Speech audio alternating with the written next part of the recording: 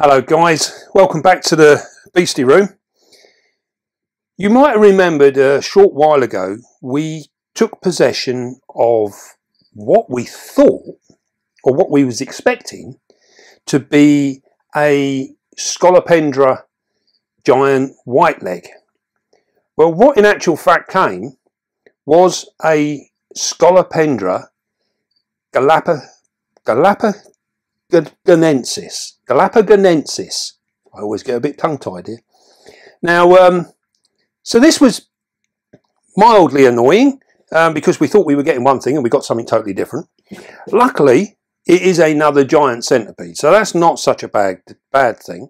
And fortunately, we have got plans to uh, try and breed both these species in the room over the next couple of years. And, um, and this is because these guys are just not bred in this country whatsoever. I don't actually know of any that have ever been bred. Um, and I think even in Europe, I think it's been more of a case of uh, females coming in gravid and then they've managed to produce. I think there's very, very limited breeding goes on with these guys. And, um, and it's something that we should be sort of like trying to address ourselves. We should be trying to breed these things for ourselves. Rather than uh, keep importing wild caught stuff, if we can produce our own, then it's got to be better in the long run for everything, for the hobby, for the centipedes, for all of us. So what we're going to do today, this one here, as you can see, she's in here now. She's in this 30 by 30 by 30 cube. Now, generally speaking, our centipedes are reasonably inactive. They don't do an enormous amount. But this girl has proved to be rather adventurous, and uh, especially in the evenings, and in the mornings, she is very, very active. She's all over the place and she's continuously hunting and searching things out and all the rest of it. So she's a very, very active centipede. Now, um, I say she, we haven't sexed it yet, so uh, we need to do that as well. But um, yes, because, because of her activity level, I've decided that we're going to move her out of this cube. This would have been perfectly fine as it is as a maintenance type enclosure. This would have been fine. But because she is so active, I've decided we're going to move her over into one of our custom enclosures. Now, I can hear you all crying out back there. You know, oh my God, he's going to put it in that thing with sliding front glass doors. With just a mesh lid. You know, don't panic, guys. This is going to be fine.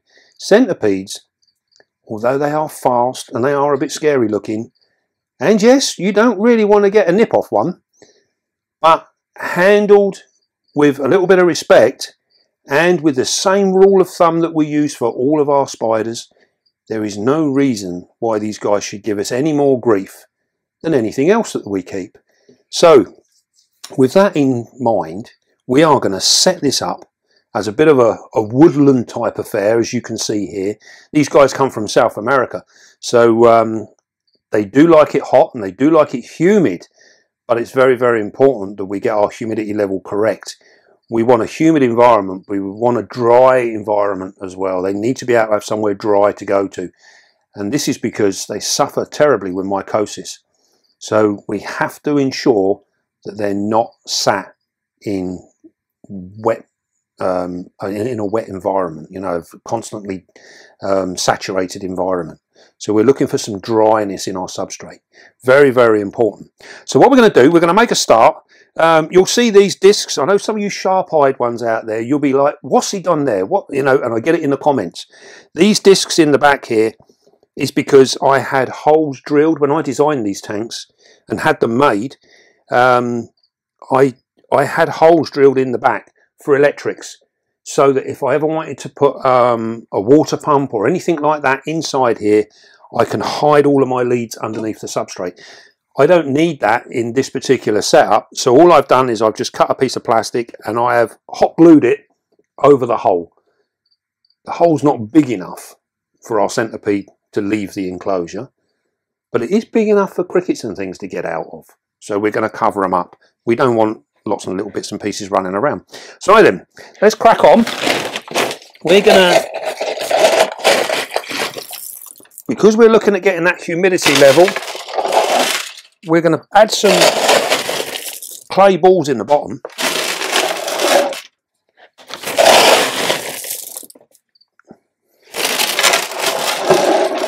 This is purely to give us some control.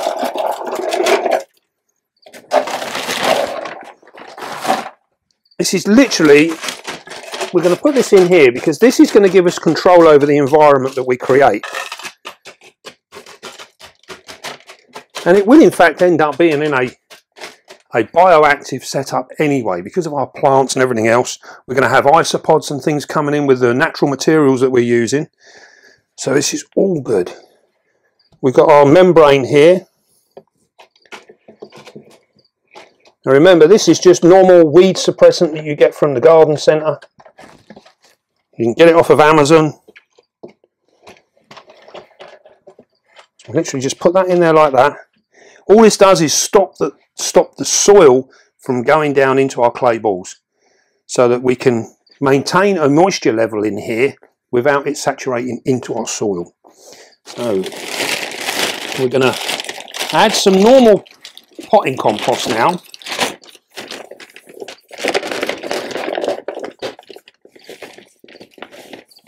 I'm just going to whop a bit of this in.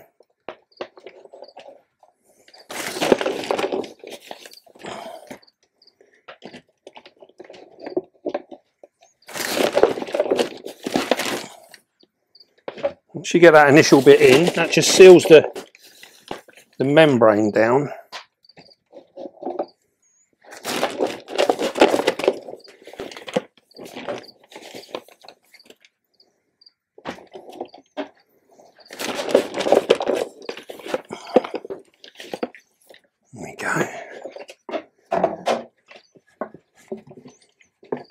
We're looking for, we just want a light covering of this at the moment. In there like so.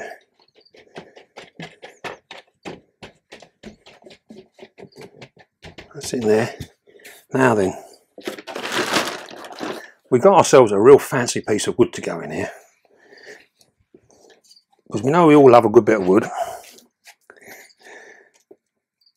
Now then, we've got this. This is a natural piece that we found. It was much, much bigger when I actually initially picked it up. But we've cut it to size. And that is going to go in there like so. We can we can. Right, yeah, that's good. So we're going to, we've cut that to size, so that fits in there like so. And what we're hoping is when our centipede settles down, she's going to lay out on here, look absolutely stunning. So we're going to add some more soil now.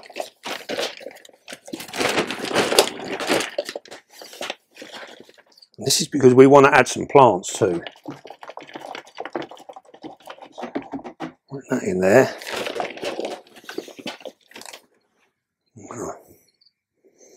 Some down in here.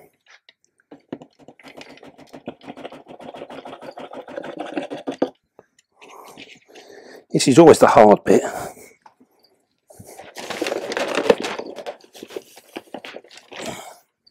See if we can't tilt that forward maybe.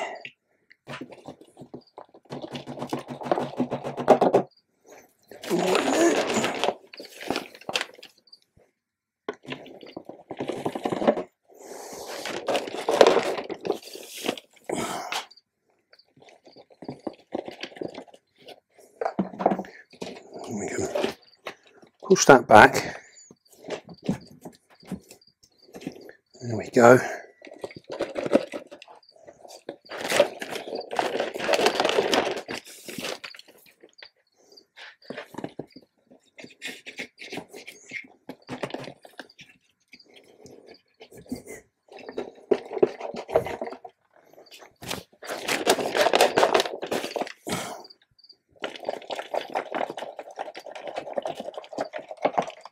Right, that'll do us for now.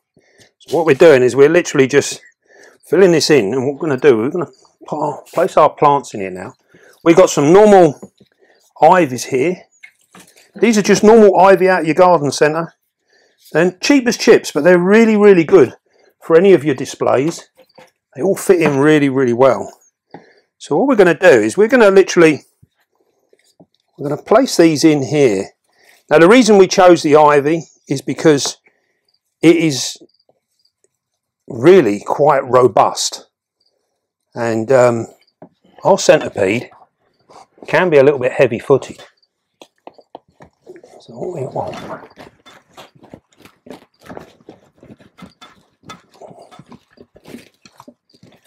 So what we want, we want plants that are going to be able to withstand a little bit of abuse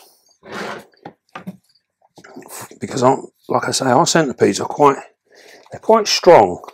Now we haven't noticed that um, our one here does any particular digging or anything. She's pretty good like that but she she will definitely turf all of this up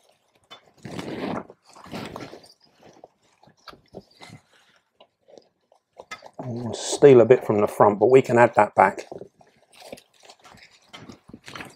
There we go. What we're looking for, we want this to sort of like hang over. Give us a nice look. That's looking nice, isn't it? Look at that. Even if I do say so myself. I love this part of the actual, um, this part of the build. It's really, really exciting. I think there's um, there is literally so much you can do, so much you can do with your enclosures. The only thing that limits you is your imagination. What we're going to do now is we're going to put one in there.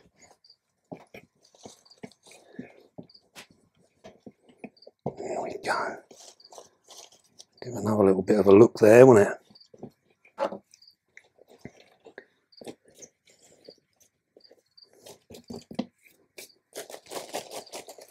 There we go. Now we're starting to take a bit of shape. So now we're going to, um, we're actually what we're going to do now is we are going to add some of our beastie mix on the top. And this will give it texture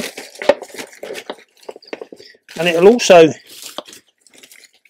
give it a little bit more of that that woodland feel that foresty look about it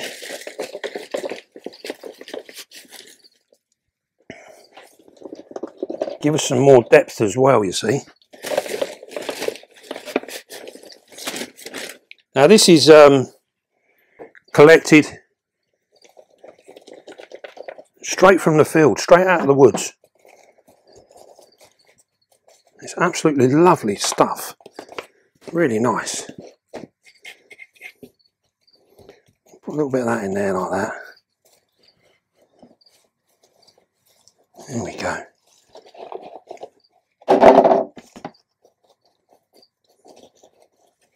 chances are she'll get under here. You see, that gives it somewhere nice and dark to disappear in. Look at that. That's looking nice now. So that's enough of that.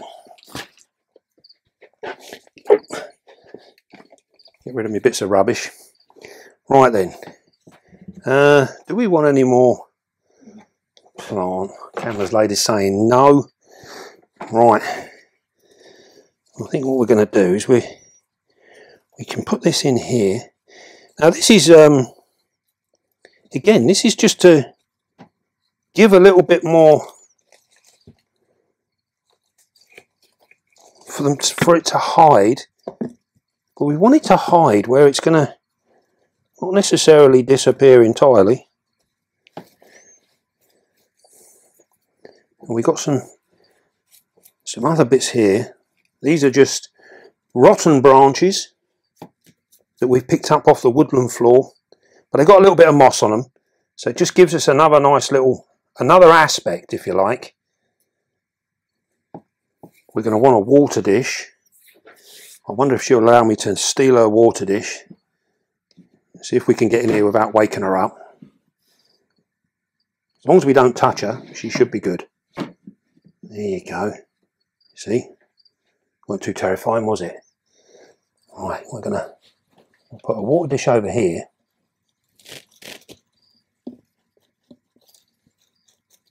That's cool. So what we're doing, we, we're literally, we're just, we're just trying to replicate a, um, a forest look. Stick a bit of that up there. And we've got all different sizes here, so you can see here, you can see how we're getting the general feel of this now. And this is what we're looking for. We, we're just we're just looking to literally just create a little bit of you see our isopods on here if you can see that little tiny wood louse there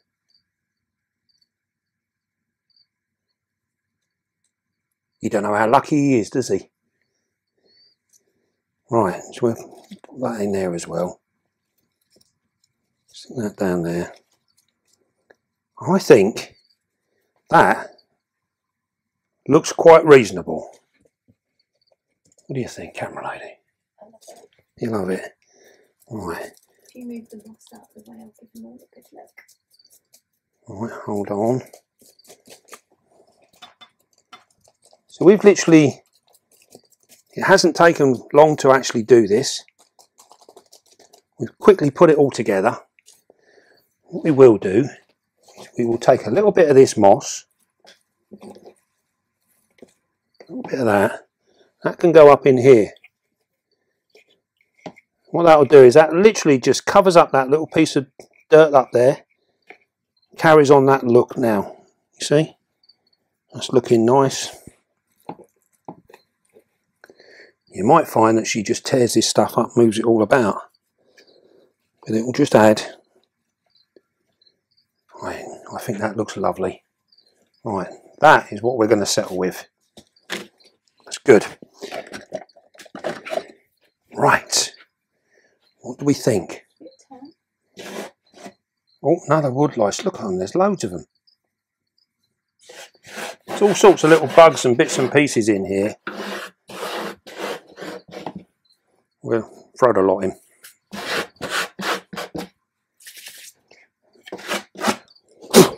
Right. Oh, it's a bit heavier now than what it was. How's that? So as you can see there, what we've done is we, we've tried to replicate the forest floor. And um, all being well, now she will enjoy mooching around, getting around. She can get underneath this piece of log here and disappear entirely if needs be. And, uh, and she's also got this bit here that she can get under as well. So she can hide away. But like I say, she's, I mean, she's out now. She's actually quite a, quite a showy, showy centipede. So um, I think what we'll do now is we'll um, we'll have a go at catching her. This is always the fun part, but we have no need to panic. What we done here, we seen there. I can uh, move these bits out of the way so I've got a bit of room.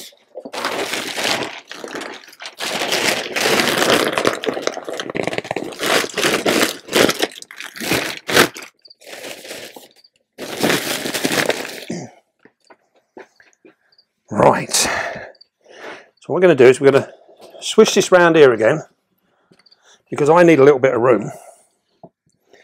We'll leave this stuff here because this might come in handy should we get a runner. We'll put that there. We've got our catch box here. We're going to use a Braplast box to try and get her in. Um, right.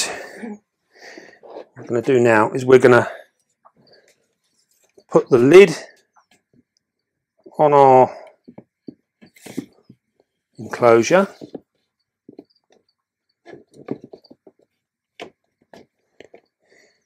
Now with this enclosure, the lid and everything all locks in. So when we put the front glass in, that locks it all in as well.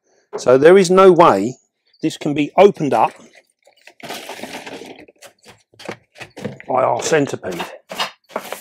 So we're just going to clean that runner out of there. We'll put our glass in.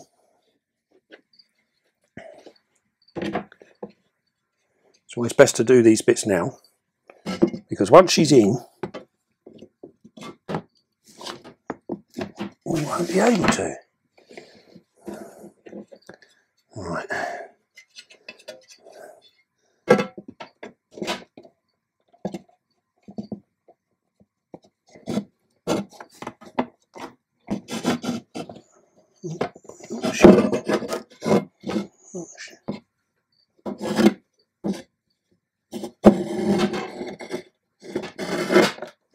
It. I can't see.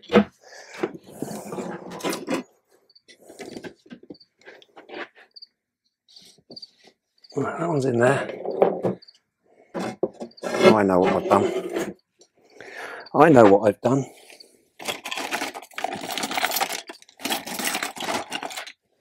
It's my fault. I put a fly strip on my glass door and I didn't cut the ends off. And this is why my glass won't fit.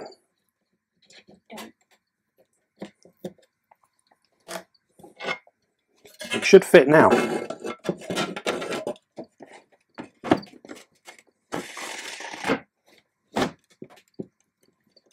I believe.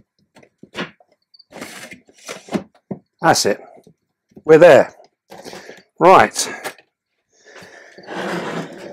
there you go.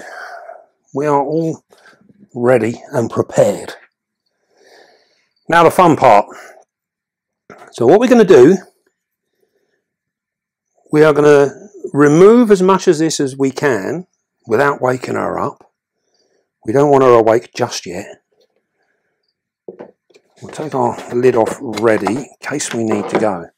Now, with these guys, they are they are very very quick, and we do have to treat them with a little bit of respect. But by the same token, these guys, how they react, they react by touch. So if you touch it, no matter where you touch it, it will fly around in a defensive way to face whatever it was that it felt touch it. So bearing that in mind, the idea is don't touch it unless it's absolutely necessary. And in which case, if you're going to do that, then you try and touch it to turn it the way that you want it to turn, not to just go off in a crazy, crazy fashion and do its own thing. So what we're going to do, we are going to slide the lid back now. We're going to take out as much of this as we can. You do need to be very, very careful of your fingers.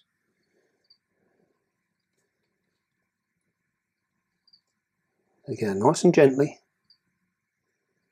I Don't want to wake her up just yet. There we go. So now we've got almost a clear area in which to deal with her. The only thing that we got in the way now is this piece of moss. Now if we try and move this piece of moss to make life easier, she will wake up. And then once she's out and about, it's going to get a whole lot different. So I think uh, we may, we may be able to go over the top of it or we may just have to scoop the whole thing up. This is going to be very interesting.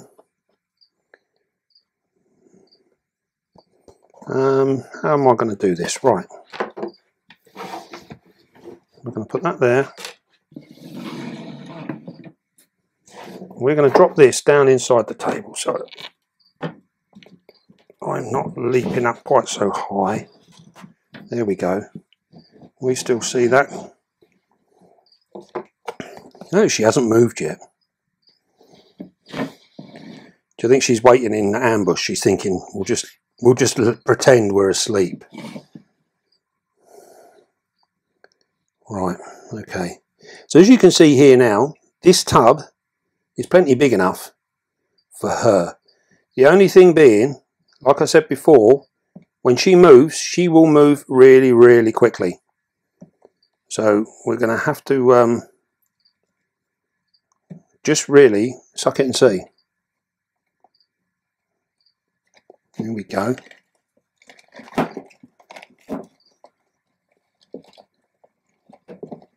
There we go. And she's in that bit.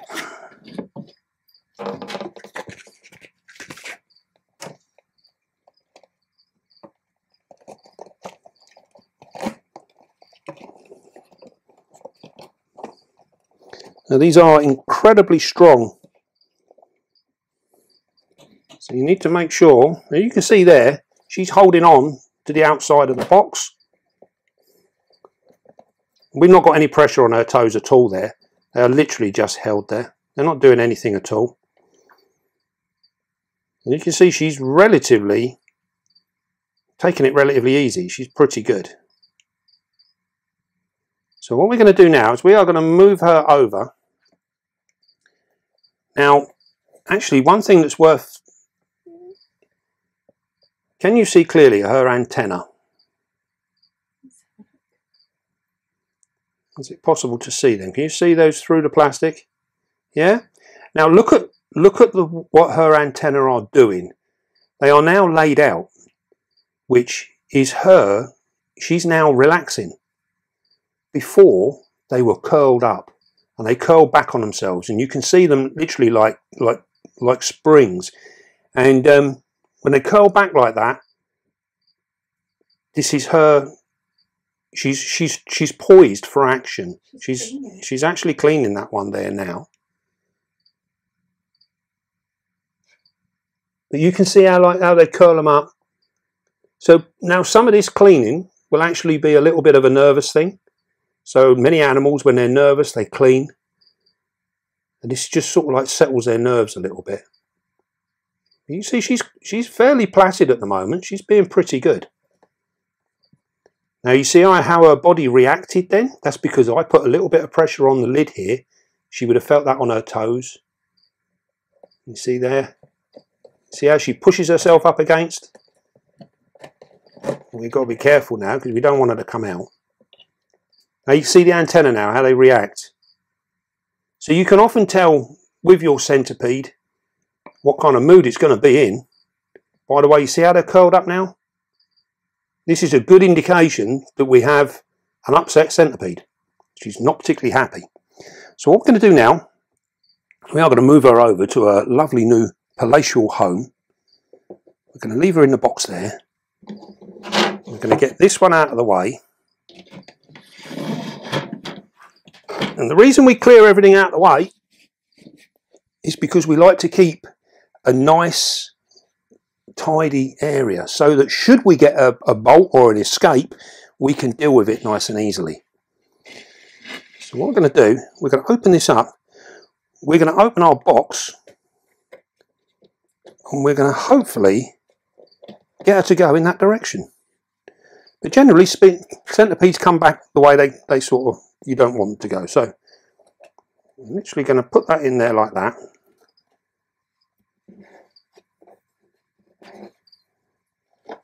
Oh, we didn't want that. There we go.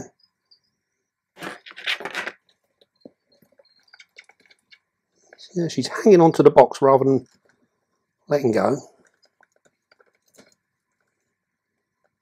It's not doing you any harm, is it? Lose interest with the box, please.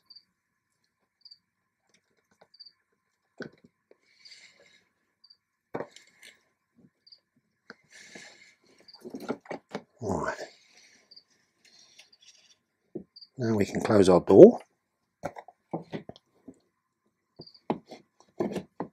Now you can see there she's just checking everything out. I'll move this round. Is that good? No reflections? Take the tub back. So as you saw there, it doesn't necessarily have to be a nightmare to deal with. But doesn't she look beautiful in there? Now you can see now she's checking absolutely everything out. And she's biting down on the silicon in the corner there. And this is almost like a um, like a frustrated behaviour. She's literally checking everything. You can see how her antenna now, how they're constantly working away. They're very erratic. And she's feeling, she's looking around now. Everything she finds in there now is alien to her, so she's going to be interested in all of it. Now, I think you'll agree that's a much, much better enclosure. This is going to make a really nice exhibit type enclosure, so we should hopefully see, see a lot more of her in a more natural environment. And she will look absolutely stunning in there. Once she settles down and she she actually starts to move around in a nice sedate way, it'll be cool. And also as well, when we feed, we can throw our dubia roaches in here. We, we tend to feed the males to these guys because the males are always running around. So, you know, they're active, which is what we want. And in that way, these guys will find them. And she will actively hunt the, the dubias around. So it's going to be really, really cool. Here she comes. She's coming back up again.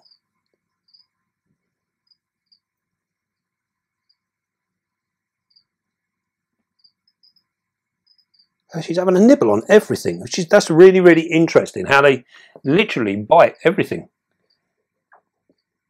It makes you wonder whether she can um, she can sense anything on there. Maybe there was a bit of local wildlife on there or something. You never know. She's checking it out.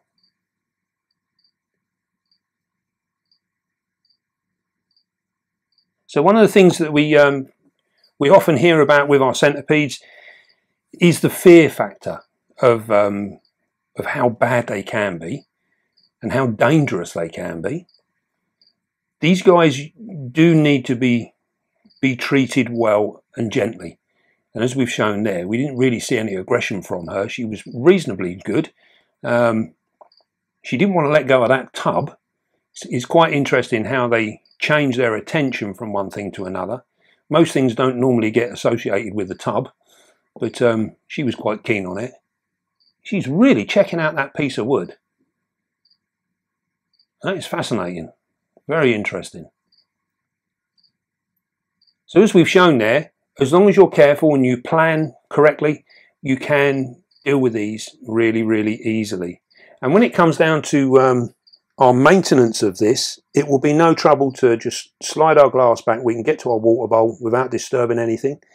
And we can feed really, really easily. We literally just open it up, throw a couple of roaches in, job done. Now this is going to be on the bottom shelf.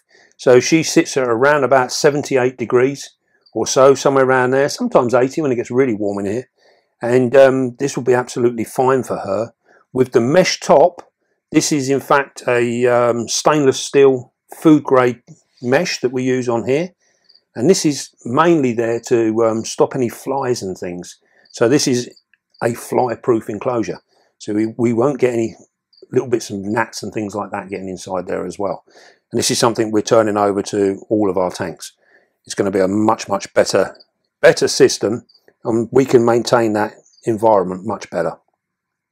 I don't know what was on that piece of wood, but she is still really going for it. You've got yeah, some good close-ups of her doing her thing there. Something's obviously caught her attention. That's incredible. She doesn't eat woodlice, does she? She, she might do if she um yeah if she if she can find a woodlice she will catch it she will she will get them. Generally speaking, we find with the wood lice for all of our adult stuff, it's um, they're too small, so they don't really bother with them. You know, most of that stuff will will carry on living. The uh, springtails and everything in there, they won't be affected by her at all. If anything, she can actually make it better for them because where she'll be in and out of the substrate and moving it around, she'll be completely refreshing it all the time. So they actually work in favour for things like um, springtails and stuff. Fancy going lifting the stick out of the way so we can have a good look. Not really, no.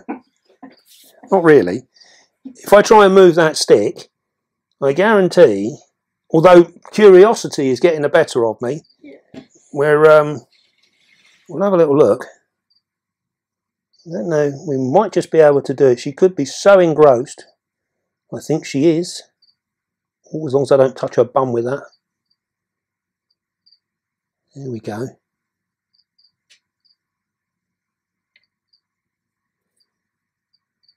What has she found?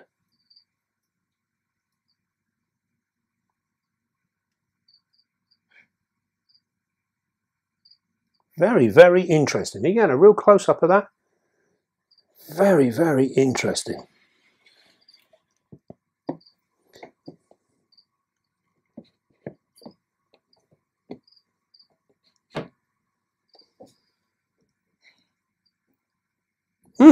I've not seen this before. Right then. Well, I hope you've uh, you enjoyed that rehouse, and um, I'm sure she's going to enjoy it. Oh, here we go. We were just about to finish up, and there she is. She's off again.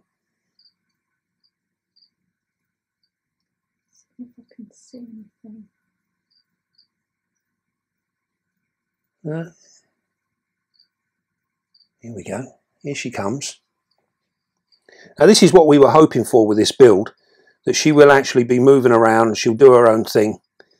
And uh, we'll get to see her exploring this new environment. How can you not love these guys? Aren't they just fascinating? Absolutely fascinating. Now hopefully we can, um, as time goes by, we can get some footage of her actually uh, catching roaches and things and get some feeding footage. Well, as you can see, we uh, we took the opportunity to offer her a, a roach, a male dubia, and she took it straight off the tongs. And uh, we don't normally tong feed our centipedes. Normally, the um, we can drop the stuff in there; they're on them pretty quick. But we thought, as she was out on the log, we'd try and capture some footage of her actually feeding properly. Because this is something we don't tend to see. Because as you can see there, she buries her head down. She's got hold of the roach. You can see the roach underneath her.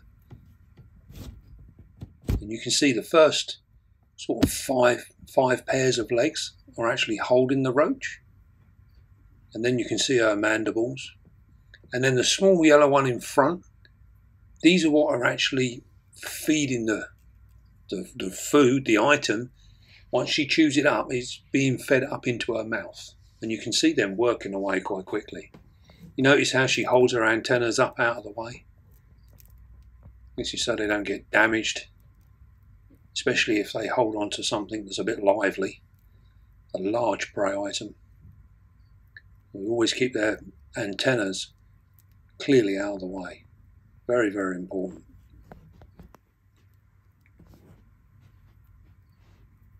you can see now she's starting to chow down onto that. And um, it's remarkable actually. I mean that that male roach, he was a good size, he was an adult male roach. And she's literally chewing away on the head already. And you can see there that the uh, you can see the legs of the roach. There's no movement there. So I would imagine that he's, he's in actual fact dead. And I think the uh, centipedes finish theirs off much quicker than spiders do. As we can see now, we're just going to have a quick close-up look. You can see the armoured segments of the body there. See the black tips to the uh, the toes. This is the actual claws of the of the feet. Incredible looking animals. You can see the lung there in the section there. Every other section on the centipede has a lung, and uh, you can just see it there at the top.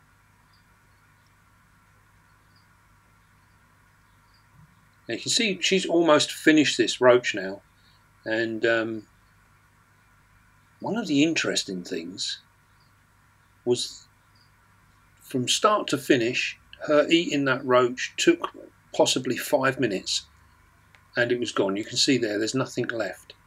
And uh, on inspection afterwards, there was not a single piece of that roach left. No debris, there was no wings, no um, body casings, no legs. She had devoured the whole lot. Everything had gone. Whereas our spiders create a bolus and then throw that out, centipede ate absolutely everything. And now she's off to have a look around and see what else is on offer. truly remarkable creatures.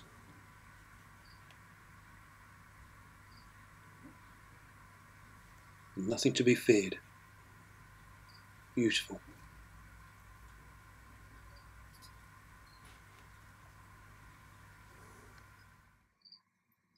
There you go. There's a tiny little spider there, just ran out. Yeah. And she's going to have a little dig around now. She's going to get in there and find out what's what. We could sit and watch this all day long. Right then. well, I hope you enjoyed that. And um, we will keep you informed and we'll see how this enclosure goes. See whether she actually destroys it or whether it stays intact. Um, hopefully, fingers crossed, it will stay intact. And then, uh, all being well, oh, here she goes. Look at that. Now, doesn't that just look absolute, absolutely fantastic? Very, very exciting. Very exciting. Chuffed to bits. Right then, we are going to try and say goodbye one more time. right, I hope you enjoyed that. And don't forget, be calm, be gentle, and love your spider and your centipedes. They're really cool. I'll see you soon, guys.